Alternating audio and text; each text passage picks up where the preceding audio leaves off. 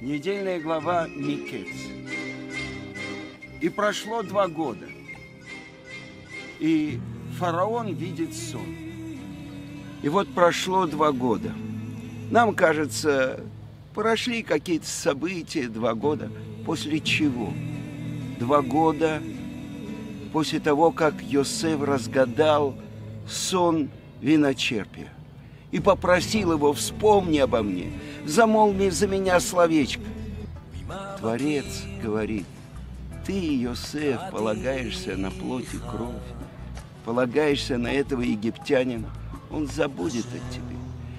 И вот прошло два года, за которые Йосеф выучил урок не полагаться ни на кого, кроме Творца. И вот его быстро достают из тюрьмы. И достали его быстро, заставили его бежать, переодели его, омыли, постригли. И вот он входит во дворец фараона. И фараон говорит, я слышал про тебя. Ты великий толкователь снов. И вдруг Йосеф говорит, без меня Творец решит, чтобы было на добро фараона. Как без тебя? Тебя же после 12 лет в тюрьме засадят опять в тюрьму. Без меня. Это то, что он выучил за два года между разгадкой снов виночерпия и сегодняшним днем. Не полагаться на человека, а полагаться только на одного Творца. Два сна фараона – первом он видит, как тучные коровы выходят из Нила, а потом поедает их тощие коровы. Как семь колосков, которые поднимаются на одном стебле, тучные, хорошие, а потом их заглушают, поедают тощие колоски. И он решает, это сон фараона, это то, что будет с всем Египтом.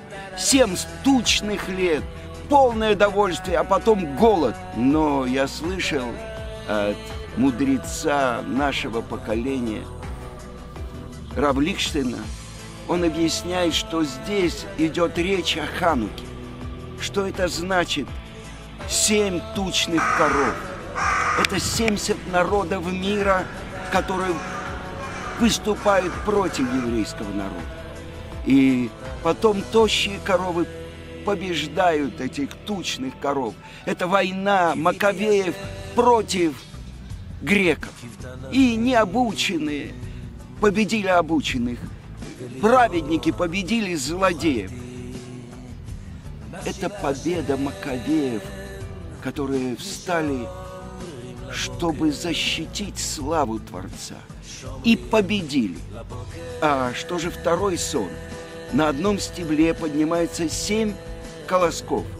Это менура, это храмовый светильник, которым оливковое масло, и это свидетельство о нашей мудрости. Так почему же их победили вот эти тощие колоски? Это борьба, которая происходит в каждом поколении. Греки воюют с евреями. Еврейская мудрость против греческой мудрости. Кто победит? Это зависит от каждого из нас. Те, кто идут с Творцом, Мика Моха Бекелим Ашем, кто подобен тебе, Творец?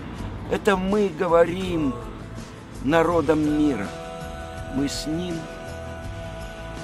а вы со всей вашей мощью. Но победа будет за нами, потому что Творец спасает тех, кто готовы идти на смерть ради освящения Его имени. Ханука Саму.